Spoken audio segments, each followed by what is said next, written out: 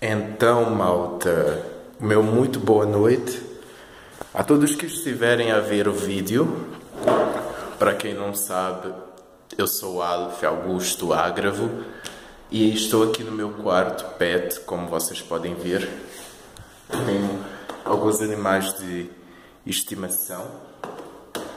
Portanto, a princesa fica cá, o Jader e o filho dele e os ratos, não é? Portanto, fizeram muita sujeira que eu estou a deixar para limpar amanhã, mas com certeza um deles vai vir. Sempre vem. São uns 20 ratos. Na verdade, aqui tem oito machos, mas eu tenho mais no outro quarto. Bom, Uh, toda a gente deve estar a saber o que me aconteceu recentemente, não é? Uh, eu perdi a Wendy. A Wendy foi levada por uma sinomose e isto foi um bocado difícil para mim.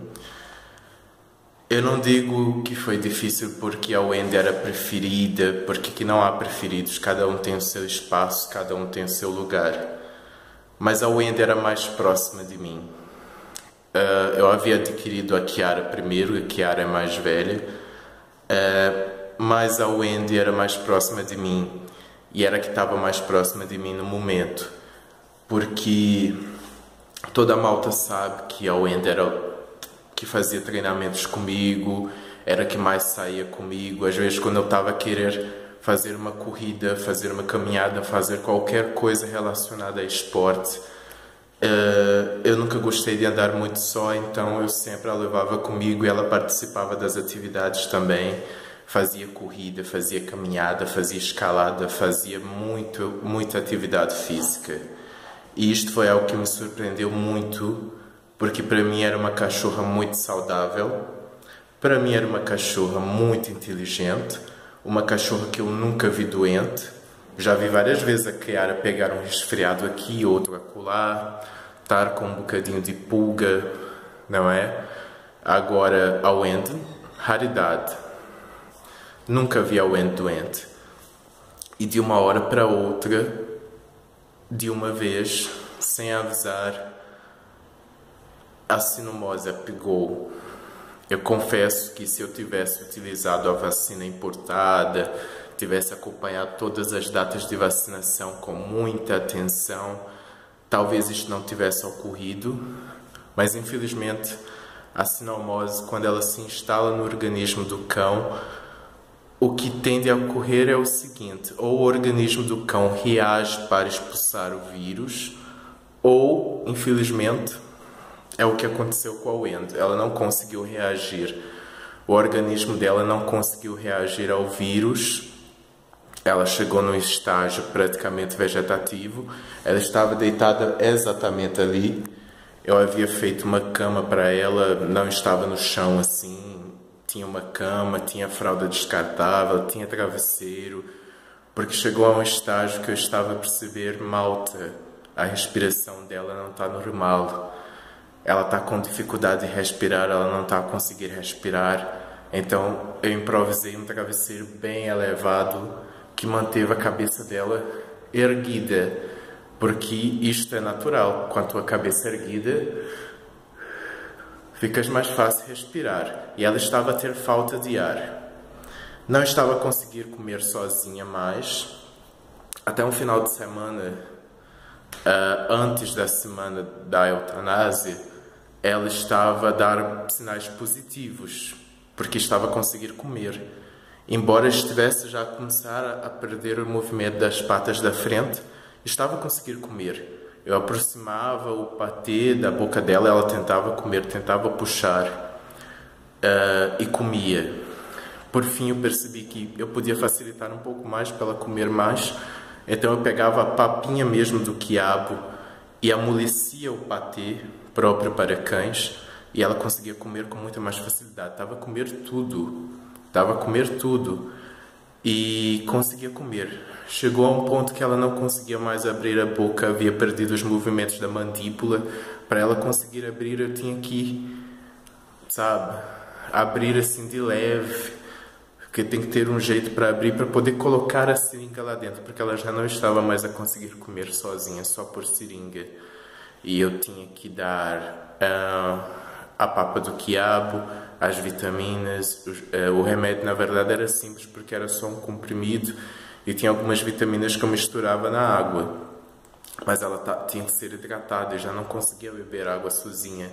Então eu dava água, eu dava Gatorade, eu dava água de coco, porque a água de coco ajuda muito a hidratar. Tanto que no último dia, pouco antes dela ir para a eutanásia, ela ainda chegou a tomar a, a água de coco, mas assim, não conseguia. Portanto, que minha mãe veio comigo um dia, eu fui alimentar ela e ela engasgou. Eu fiquei desesperado, eu falei, meu Deus, ela vai morrer engasgada. Foi terrível. Foi terrível. Ela não tinha mais controle de, desta parte aqui nossa que nós temos do ego, do sistema, do sistema digestivo, não tinha. E foi mais ou menos assim, malta. Eu tentava dar a alimentação por seringa, ela já estava com dificuldade de engolir, tinha que fazer muita massagem para poder ela conseguir engolir com muita dificuldade. Então chegou a um ponto que ela estava mesmo a morrer e a sofrer a morrer. Uh, porque ela estava com muitas contrações, muitos movimentos involuntários e estava muito feia a situação. Eu cheguei, na, eu, eu não queria ter de fazer nada, mas foi uma recomendação da veterinária que disse que não iria haver melhora no quadro dela e que ela estava a sofrer, porque realmente ela perdeu os movimentos da parte digestiva e estava uma situação difícil, nós acabamos por optar pela eutanásia. Eu também conversei muito com meu pai, inclusive eu agradeço muito ao meu pai que esteve comigo o tempo todo, não só para me levar de carro à clínica, porque lógico que estas coisas não dá para fazer de ônibus, né, malta? Nós no Brasil ainda, ainda estamos no Brasil, da situação que está o transporte público, não dá para fazer estas coisas, malta. Tem de ser de carro. E meu pai foi quem me ajudou, me levou até a clínica tempo todo, conversou comigo, caso a veterinária sugerisse a eutanásia, o que eu ia fazer, eu disse que eu estava a pensar, mas que eu já estava preparado para aquilo. Mas enfim, ele esteve comigo o tempo todo, inclusive dentro da, da sala do hospital, aonde foi feito o procedimento. Ele acompanhou tudo do começo ao fim, inclusive a hora que eu vi mesmo que a eutanásia ia ser feita, eu me disparei a chorar, e foi mais ou menos assim. E ele também chorou, porque tirou o óculos, eu vi mesmo ele a secar as lágrimas, porque só nós sabemos o que aquela cachorra significou para todos nós aqui nesta casa. E foi adotada, inclusive. Enfim, eu não gosto muito de lembrar porque agora ela não está mais aqui, mas nós procuramos fazer o nosso melhor. Minha mãe, agradeço muito a minha mãe, que foi quem comprou todos os remédios Inclusive porque uma cachorra de uma amiga nossa também teve, só que esta conseguiu se salvar. Então minha mãe comprou os medicamentos, nós tentamos fazer o que estava ao nosso alcance, mas infelizmente o organismo dela não reagiu, não conseguiu resistir à doença. E é aí que eu quero reforçar, só mesmo para finalizar o vídeo, porque eu acho que já falei demais.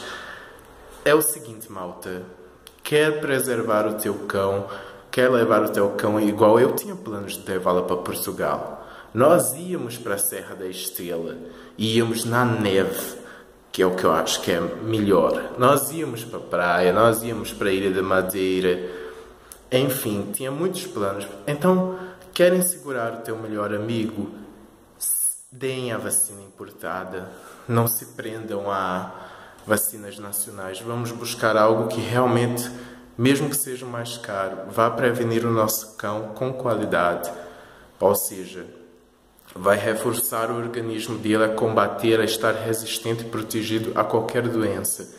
Porque este vírus, uma hora que ele entra no organismo do cão, ele destrói tudo completamente, inclusive a parte cerebral. Por isso que ela perdeu os movimentos, teve toda esta questão. Então, vacina nos cães importada é algo que eu não seguia, mas que a partir de agora eu vou procurar seguir com mais atenção.